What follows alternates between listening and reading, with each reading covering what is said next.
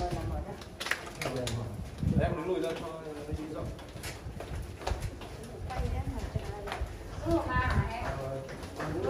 Cầm đây cho Đức Của Đức không ạ?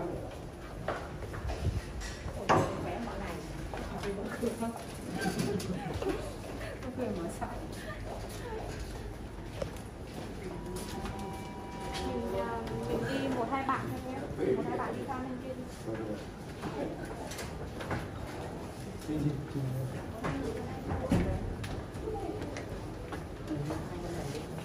mình đi sang bên kia đi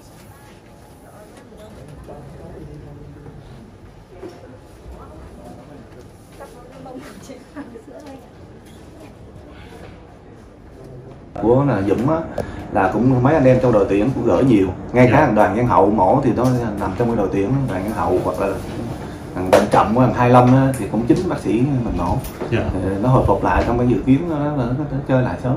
Dạ. Cái tâm trạng của Dũng khi mà trước khi bước vô cuộc mổ như thế nào ạ?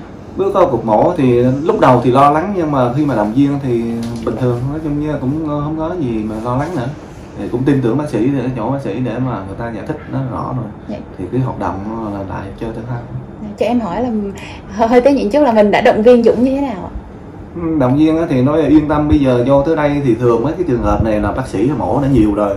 Thì cái hồi phục này là rất là thường xuyên mà chơi lại thể thao bình thường. Thì Dũng cũng có cũng có nói là thôi cảm ơn bác sĩ cố gắng giúp hết rồi em cũng quay lại chơi thể thao À, cảm xúc của anh như thế nào khi mà phải à, thực hiện nhiều ca phẫu thuật cho những cái vận viên bị chấn thương nghiêm nghiêm trọng như vậy ạ? thì cũng nói chung những bình thường giống như vận động viên khác hoặc là chuyên nghiệp không chuyên nghiệp thì mấy cái này cũng làm thường xuyên mà làm thường xuyên thì cũng cái, cái này thì nó cũng cũng có gì ghê gớm.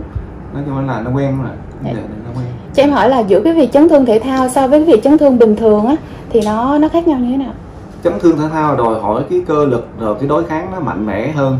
Còn mà chơi thường á, thì có thể mà mấy người mà vận động mà làm à, giống như làm công chức không rồi thì nó cái đó nó dễ rồi.